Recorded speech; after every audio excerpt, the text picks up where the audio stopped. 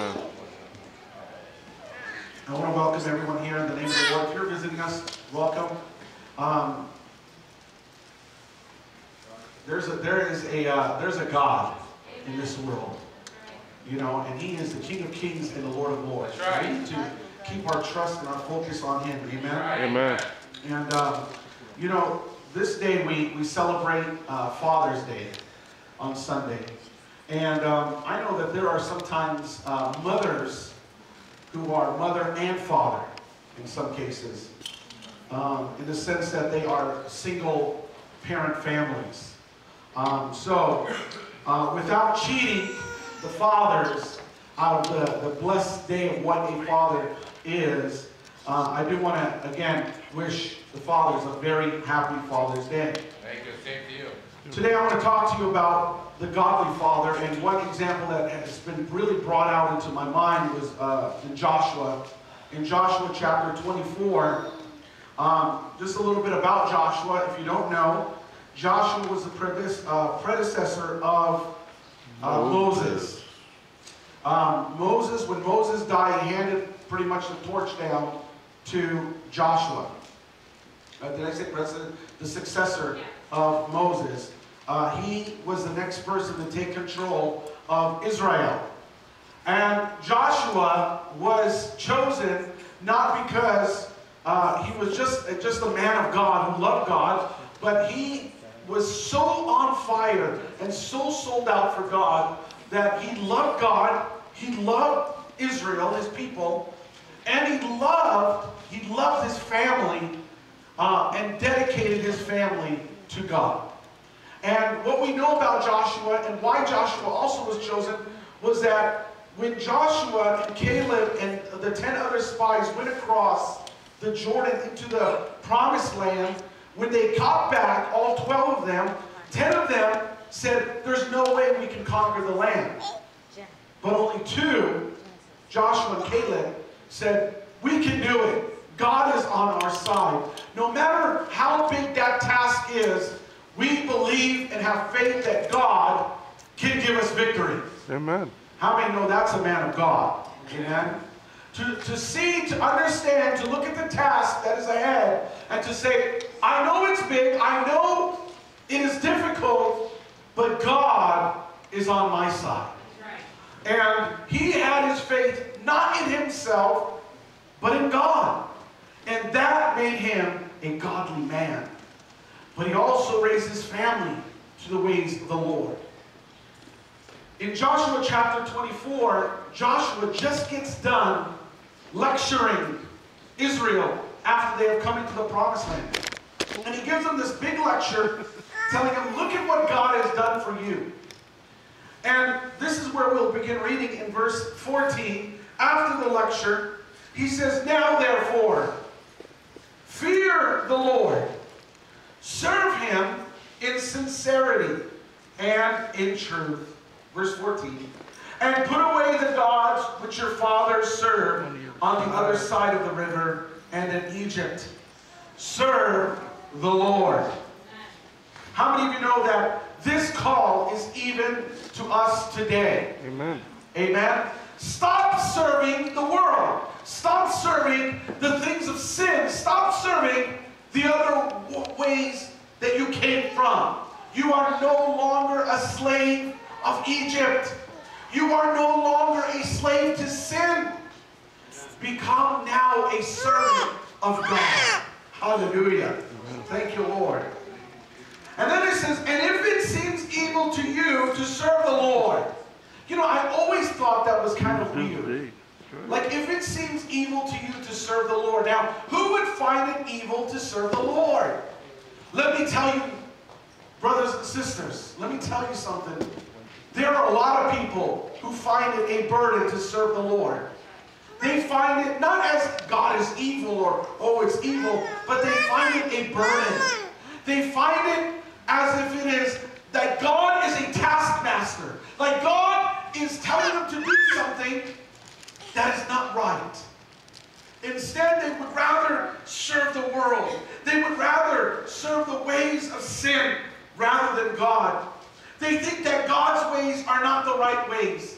They would rather choose to serve themselves.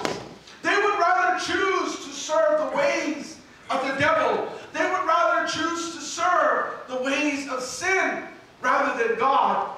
And when you tell them about God, like stop cussing, stop having profanity, stop getting drunk, look at yourself. You're always cussing. Your Facebook page is full of profanity. You got nothing but filth in your life. Cut it out. Listen to the music you're listening to. Listen to the words, what they're saying. Do you not know that it is demonically filled? Amen. They will look at you as if you're crazy.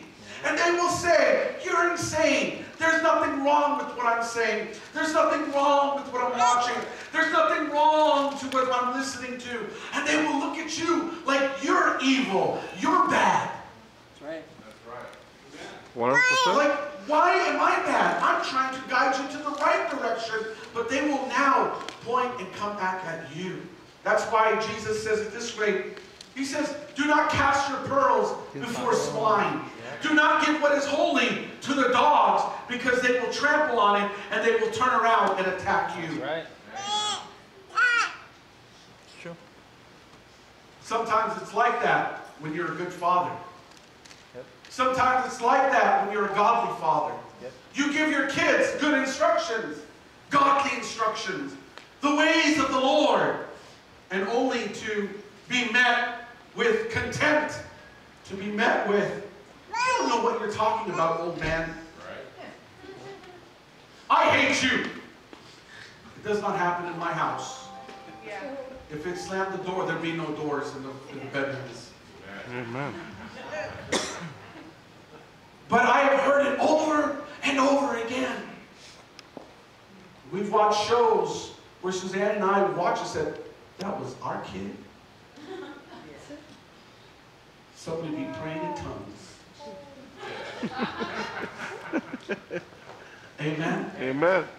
But sometimes they look at it like you're doing what you're saying to them is evil. If it seems evil to you to serve the Lord, choose for yourselves this day whom you will serve, whether the gods which your fathers served that were on the other side of the river, or the gods of the Amorites in whose land you dwell. But as for me and my house, we will serve the Lord. Amen. Right. You know, I always say you can't lead a horse. You can lead a horse to water, but you can't make them drink. If you try to make a horse drink, you'll only drown it. You'll only drown the horse. We look around in our lives and we may give instructions and, and tell people certain things about, about their life. But you know what? They'll continue doing whatever you they want to do. And sometimes as a pastor, as God's bishop in the church, it makes me frustrated. Wow. God, why are they not doing the right thing? Why are they raising the family this way? Why are they treating their children this way? Why is their children acting this way? God, I'm frustrated. Why is the husband acting like this towards the wife? Why is the wife acting like this towards the husband? I don't get it, God. It's so frustrating. And sometimes it makes you just want to look and say, you know what, God? Oh, I don't know, but as for me and my house, we will serve the Lord. Amen. That's right. And you have to make that own public declaration in your life. That's right. Not to say, I'm going to be like the Joneses. Not to say, I'm going to be like them or like them. I'm going to, you have to come to a declaration, a proclamation in your life, in your family, in your home, in the words of what you say that ask for me and my house, we will serve God. Amen. And sometimes it's about sitting and having a camp meeting in your living room with your kids, with your family, and say, listen, I don't know what pack of wolves raised you. but they weren't living in this house. As for me and my house, we will serve the Lord. Amen. And until you grow up and you get your own house, you choose whom you will serve. But as for me and my house, fathers, we will serve the Lord. So the people answered and said, Far be it from us that we should forsake the Lord to serve other gods. For the Lord our God is he who brought us out and our fathers up out of the land of Egypt from the house of bondage, who did not, who did those great signs in our sight and preserved us in all the way that we went and among all the people through whom we passed. And the Lord drove out from before us all the people, including the Amorites who dwelt in the land. We also will serve the Lord, for he is our God. Amen. Awesome. Awesome when you stand for God, when you stand for God, to be able to look at other families and who's, who have also looked at you and said, you know what? Me too.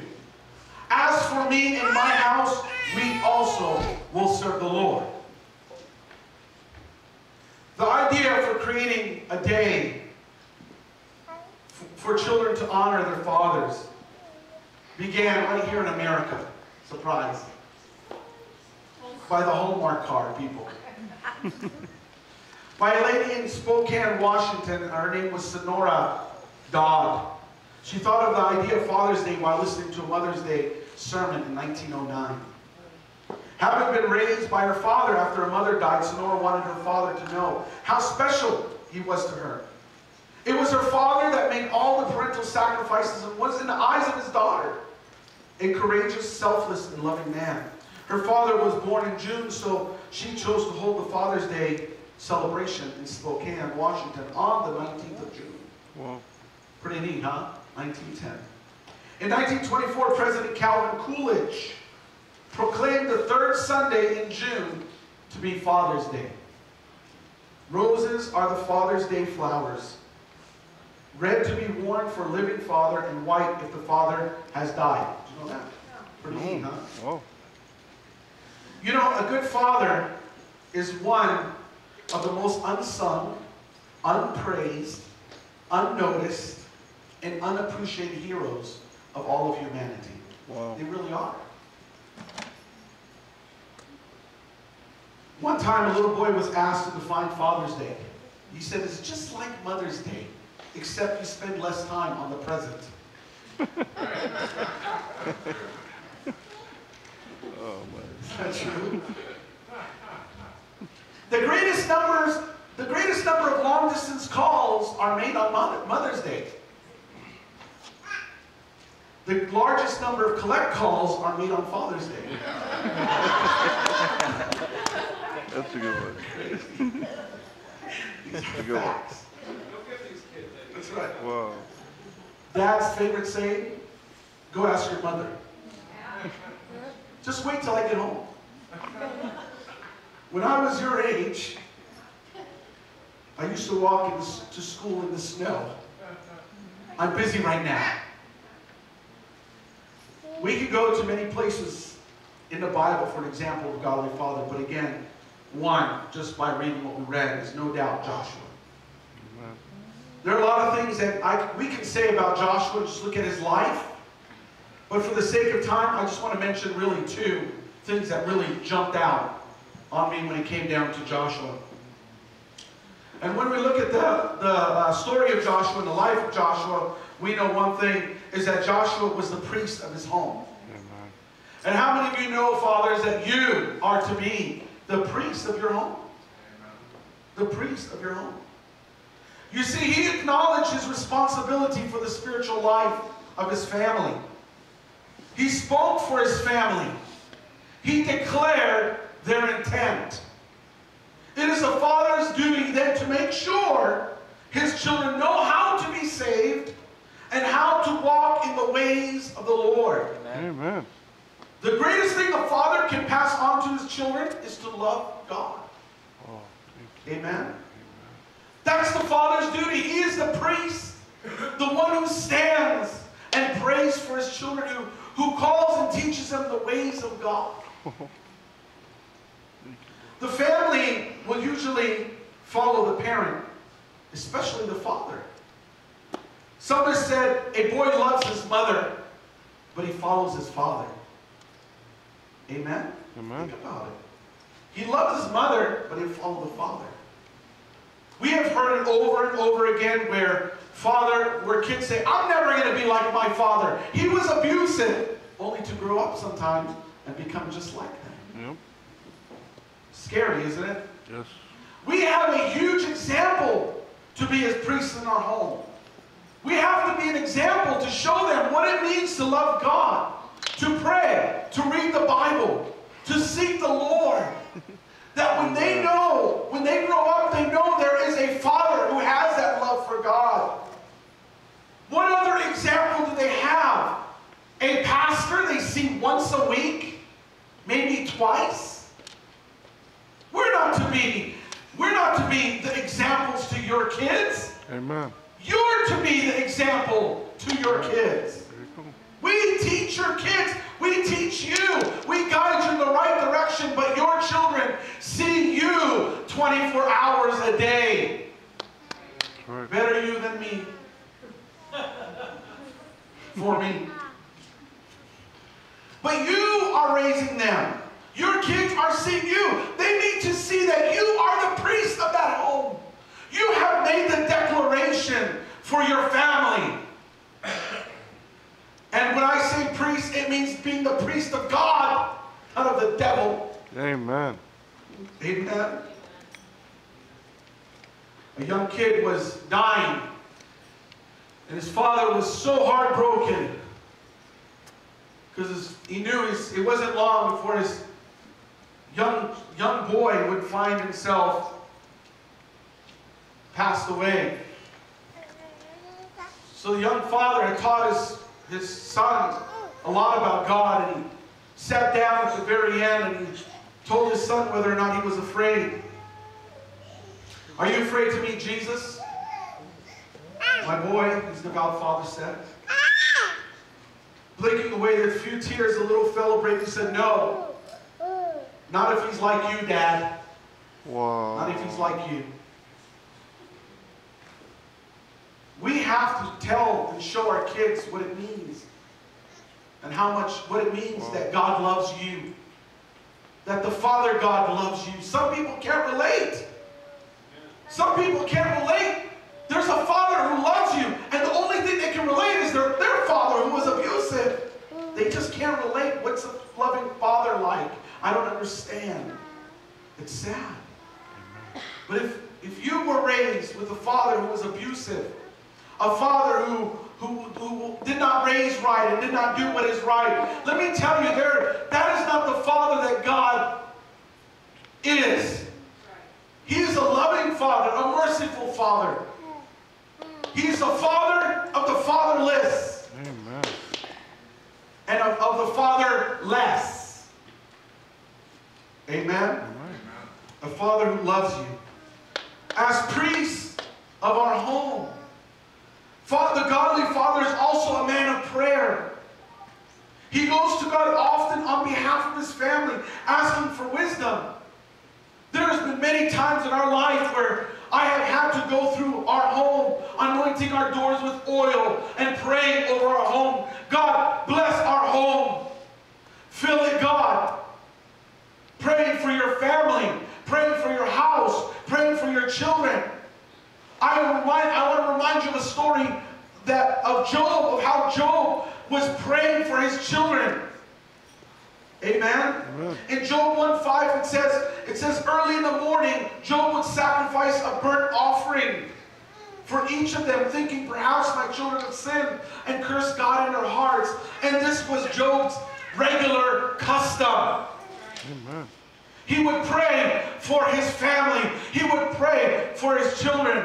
There are many times I walk into my kid's room and I pray and I say, God bless this room in the name of Jesus. I do a double prayer in Sarah, Lydia's, and Lizzie's room.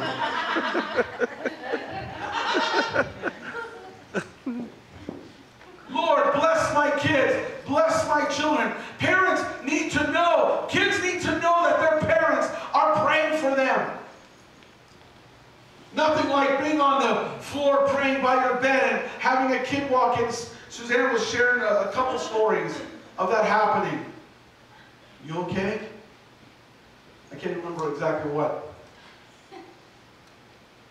But even to me in prayer, there's times where I'm praying in the living room by myself, and in my prayer, I'm thinking, someone's gonna walk in and think I'm like dying. you know? They won't know the difference. I'm praying sometimes. You know, one day, oh, he's just praying. Three days later, he's still praying.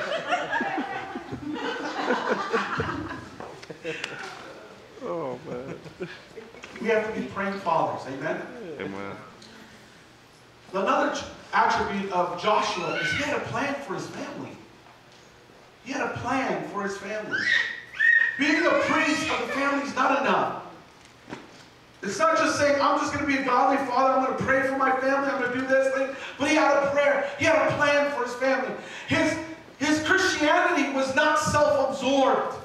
I can't tell you how many fathers, Christian fathers, say, Well, I love God and I don't know about my kids. I'm hoping they do. He led his family. He says, I love God, and he makes a declaration. As for me and my house, he makes that. We will serve the Lord. Amen.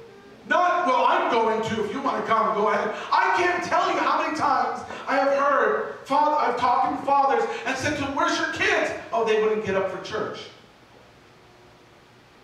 They didn't want to come. What are you talking about?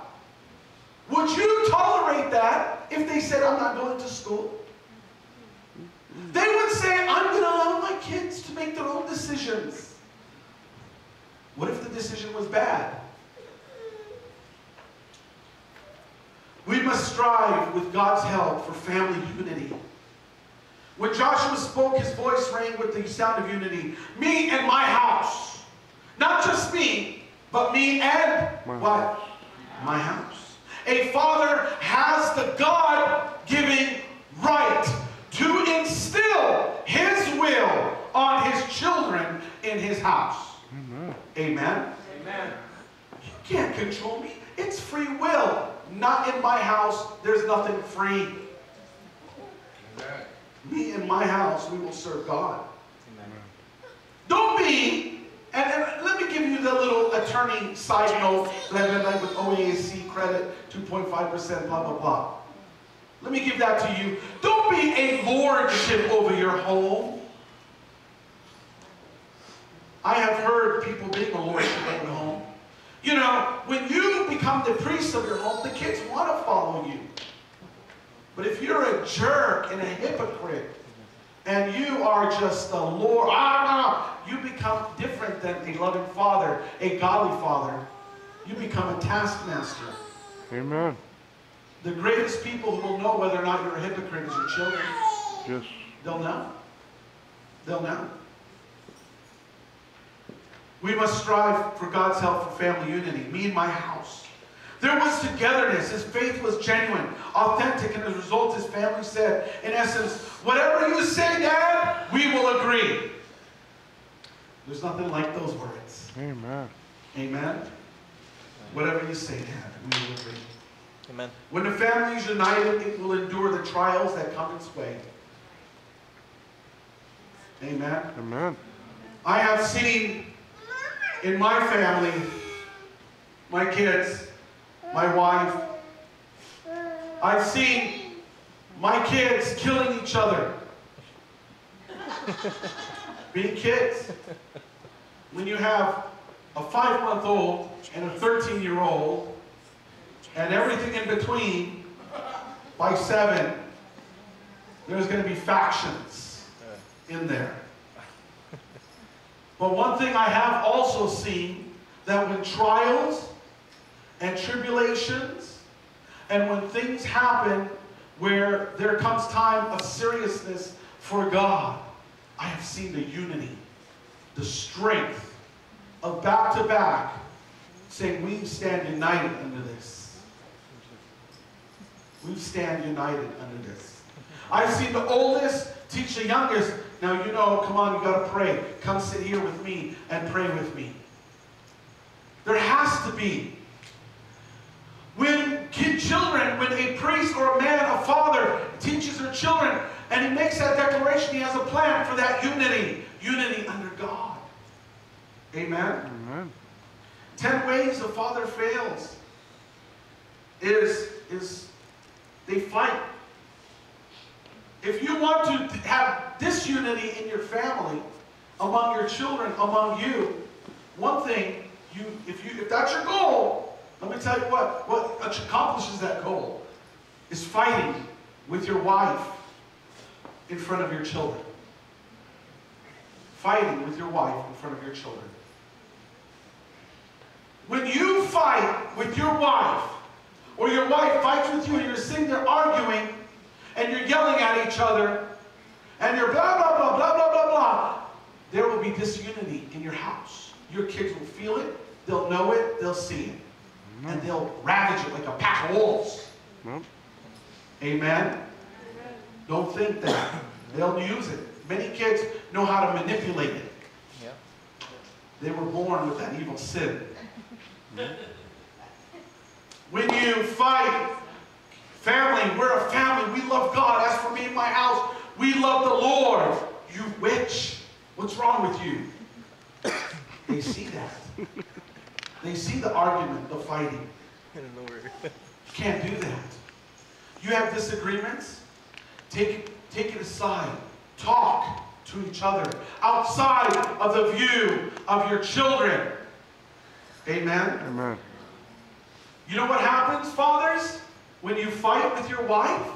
They will marry a man who's just like you, and they will think that fighting like you're doing is the normal part of marriage. And it's okay.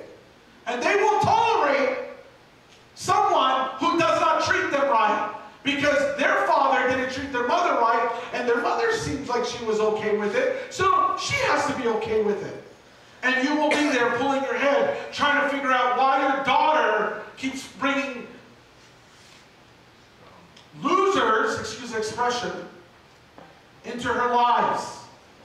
Why your daughter is bringing men who don't love God, who don't honor God, who have no regard for their lot, for them. And then you will also wonder why your sons are treating their women like that. Because you're the example. So when you fight, you're not only affecting yourselves, but you're affecting and infecting those around you. Repent. Amen. Another way is stifle your children's questions by saying, Don't bother me now, I'm busy. There are times where I've said that. But every time, don't bother me now, I'm busy. There is times where I have had, guys, you've had to sometimes pull yourself under control. There's times where I am uh, on focus on doing a project and my daughter's coming, Dad, look at this that I drew. And I have to and turn my chair. Oh, nice. That's great. and looked at it and said, Oh, that's good. Good job. And then turn around. Oh, okay. But take the time. Take the time. If you take no interest in your children's friends, you will fail as a father. Amen. Hey, we care about our children's friends, who they are. My kids will tell you. My kids will tell you. So three of them have Facebook. We tell them we want to know who your friends are on Facebook.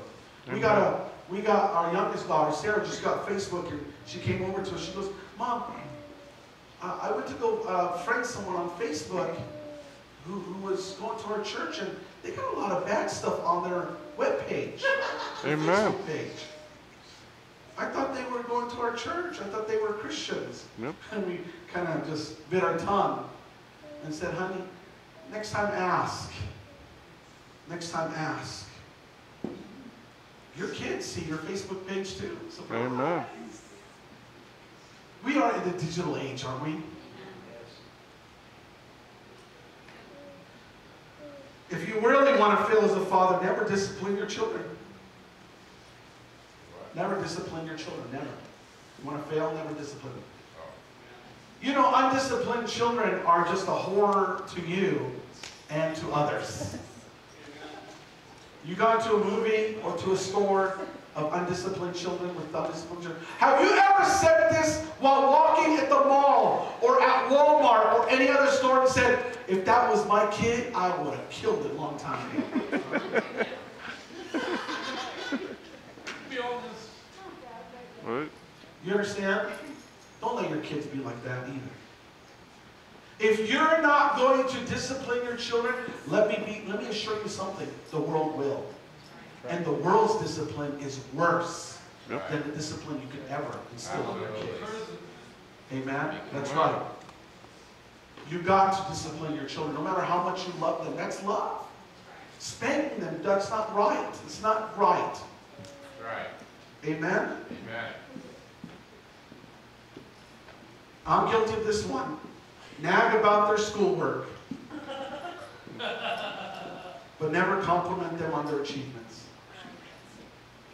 If anyone knows me, I'm an A, what do you call, student, or A uh, uh, father. I want A's.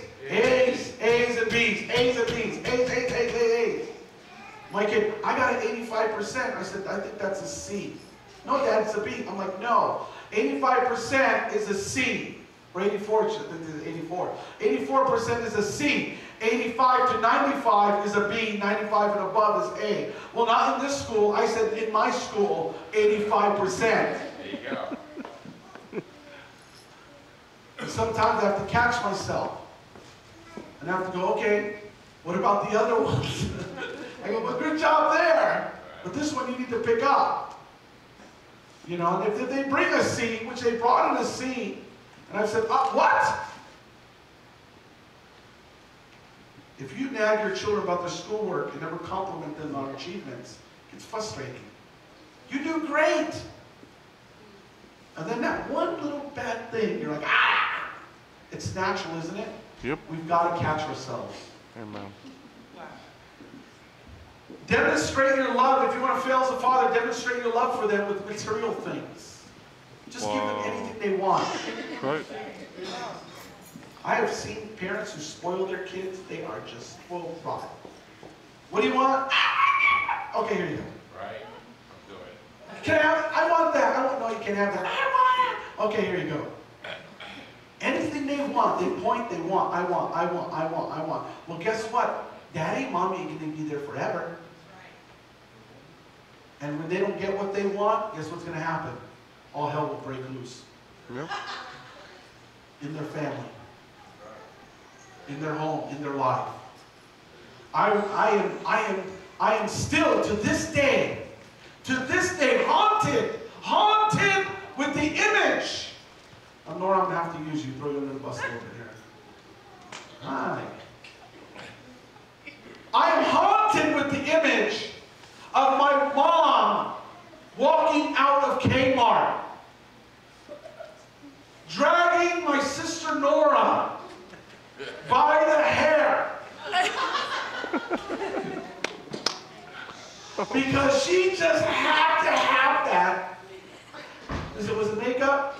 And there was no way that she was going to leave that place without having it and watching my dog, my sister, my mom yanking her, kicking and screaming because she wanted that makeup. I am still haunted with that image. Oh man. I didn't say so. No way. I say my dad spoiled us a little. Anything we wanted, he'd give it to us. First people to get Atari, first people get computer, first people get all this stuff. It's been good, but I assure you, it's affected us in some sense too. Sometimes getting what you want is not always the best. Sometimes you have to endure. Sometimes your children have to endure. And say, if the only way you're demonstrating your love is by giving them, giving them, giving them, giving them, giving them, it's not the way to do it. Amen? Amen. Show them other ways. Give your children, fine. Provide for them. Give them the toy, whatever it is. But show them love in different ways, not just in material. Never discuss the, if you want to fail, never discuss the facts of life with your kids either. And I'm not talking about the facts of life.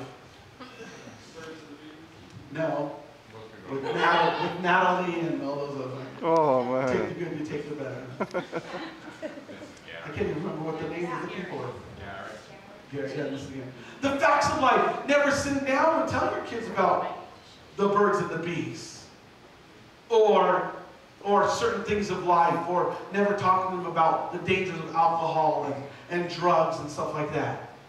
My kid is 13 going on 19. She just amazes me, drives me nuts sometimes. and she talks to me about that. That's gross. I can't even talk to code to my wife anymore. She knows all the code words now. She knows all the code words. I can't even figure out. I'm like, how did you know this code word? It's like she like took our code book and figured it out. Just I don't know. You know? The cuckoo nest is on top and the airplane is flying. You better catch the moon. Here it comes. Oh, oh, that's gross, that's disgusting. What am I saying? I'm just saying, let's go to the movies. Yeah, sure you will. I'm saying. Uh, you can't even talk code to him anymore.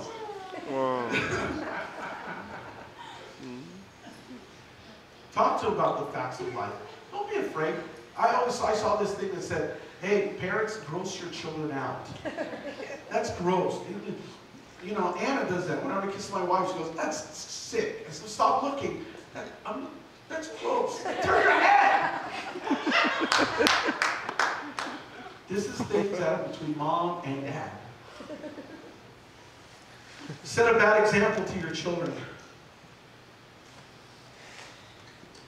So that they, when they say, when I grow up, I don't want to be like them. You ever hear that? I'm not going to be like my dad when I grow up. That's a bad example. Amen. You want people to grow up and say, I want to be like my dad. When my daughters grow up and they're, you see they're singing, and when they're at home, they sing a lot. Where I got, I got, I'm like a 24-hour musical in my house. I don't need to go to a Broadway show. They're like, hey, Dad, we, we just made something up. Come on over. We got a big old show. Even when, right, and the other day, Sarah and Lawrence spent the night. Uh, the next day, I had this big old musical music video in front of me. Sit down, we got this music video. I'm like, okay. They want to be like their mom. Be like mom. Be like mom. They want to be like their mom, singer.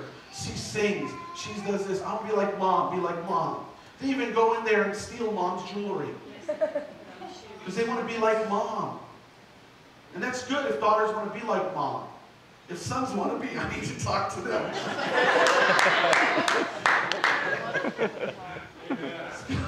Wow.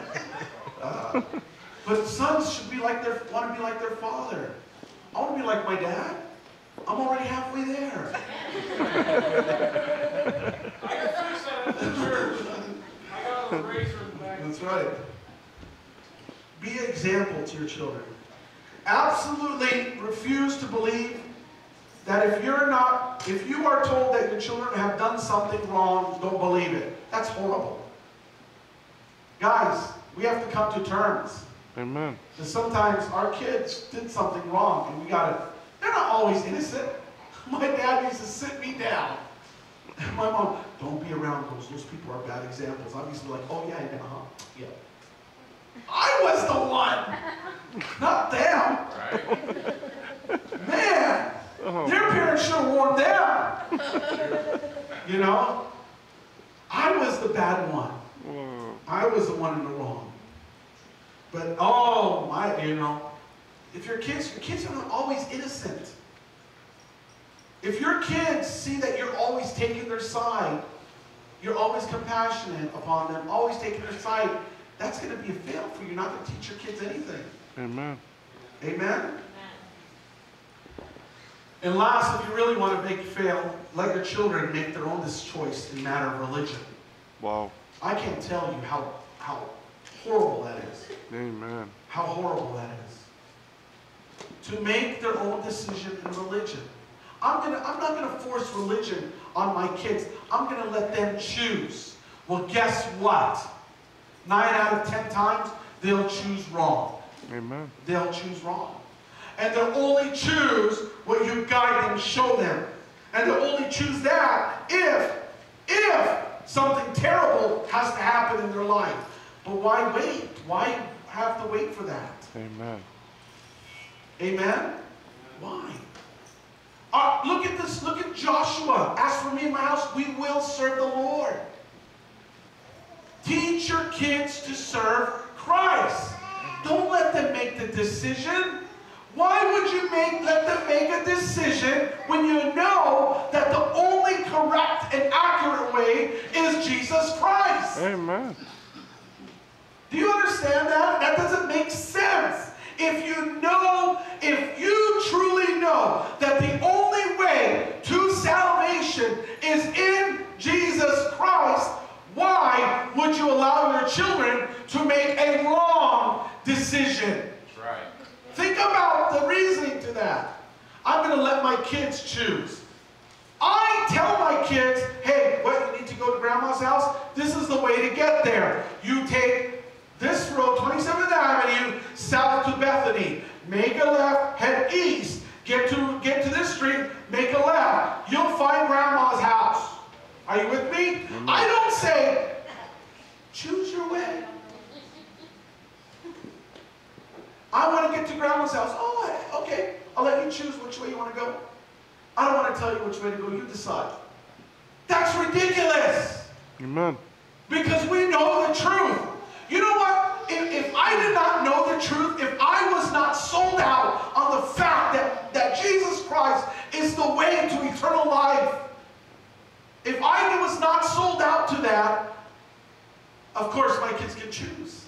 But because I'm so sold out that I know Jesus Christ is the way to eternal life, I love my kids so much that I want them to be saved and I'm going to tell them, you got to serve Jesus Christ. He is the way to heaven. You've got to choose Christ in your life. Amen? You've got to. Because you know that you know that you know it's the truth. Well, I don't want to stuff religion down my children's throat. You stuff school down their throat. You stuff sobriety down their throat. If your kids were doing drugs, you would say to them, don't do drugs. Don't stuff that down my throat, Mom. Dad. Don't stuff sobriety down my throat. Don't stuff school down my throat. Doesn't make sense, folks. If we know that the truth Jesus Christ and He is the way to heaven, and I'm sorry, but I'm going to be just a little bit passionate on this fact, That we must, we must, as true believers, as true fathers, as true mothers, teach our kids and push them towards the way, the right way. Amen. Parents push our children to education. Go to college. You, here's the right man. Choose the right man. Here's the right woman. Choose the right woman. We push our kids and show them the right way. We don't let our kids make decisions that we know, that we know, that we know are wrong. And if we believe and truly believe that Jesus Christ is the only way to salvation, then we must also truly believe that any other way is wrong. Amen. And to allow our kids to choose any other way is hate.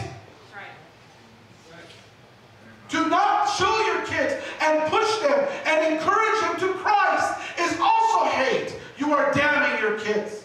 Amen.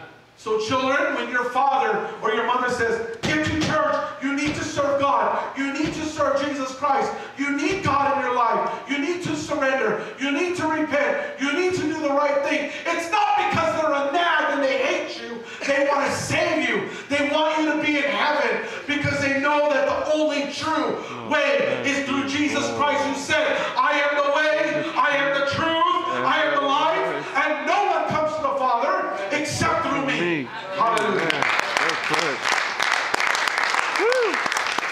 Stand strong, fathers, and declare, as for me and my house, we will serve the Lord. There's a lot of great mothers out there. I assure you, there are a lot of great mothers. I, I really don't know any, I, I, can't tell you I've known any bad mothers. There's been some, like you read them on the news. Like I killed my kids because God told me to do so. Those ones, and you know, I sold my, you know, my kid on Craigslist. There's some bad mothers. There are some. There, there are some bad mothers out there, but a majority, a majority of the mothers are good mothers. They, I, they have this motherly instinct to love their kids. They really do. I assure you, there are horrible fathers out there. Horrible fathers. There are more horrible fathers. than- As a matter of fact, if you took the ratio, fathers versus mothers, I mean, fathers would be the ocean and mothers would be the lakes. The, it's so narrow of a bad mother, but it's so vast with the bad fathers. Horrible fathers. Fathers who, who are not godly. Fathers who don't raise their kids right, and everything else we just said this morning. That's why when you come across a man who loves God and is raising his children in the ways of Christ, this is a man that is worth honoring. Amen. That is a man who is worth honoring. Amen? Do you understand that? Yes. That's why Jesus ends everything with amen. It's really difficult to find. You know, in Proverbs 31, it says to find a, a, a wife. The Proverbs 31 woman is about, uh, is about the wife. It's about the woman to find a virtuous wife. How precious it is. Yes. The wife who loves her husband, who takes care of her children, and all that stuff. Right? It's very, very precious. But To find that godly man it's so, so difficult. It's so difficult, but when you find them, oh man, Wow. those men who, who are who raise their kids up, who raise, who, who treat their wives right, who, who raise their children right, who provide for their household. I mean, look how strong it is. It says this: if a man does not provide for his own household, he's worse than an infidel. Worse than an infidel. That's powerful. Amen. Amen. You know, for be, being a man, to guys, when you listen, ladies, when you find a man which is that is that loves God and that really has a heart for God, hang on to that man. That's really, really difficult to find. There's a lot of men out there who are cuckoo. They have no idea what it means to serve God. They really don't. You know, they they they have no problem being on their white stallion and show you all the great things, but once you live in their castle, you're dead meat. But find a man who has the heart for God. These are men who are honored and worth honoring. Not that every man who confesses himself, oh, I believe in Jesus Christ, I'm a Christian, ah, let's go to the bar. You know. Amen. Amen? So, when you find a man, it's worth honoring. And these are the men we want to honor in this church today, in this life. Amen, in this place. Amen. Happy Father's Day, men. Happy Father's Day.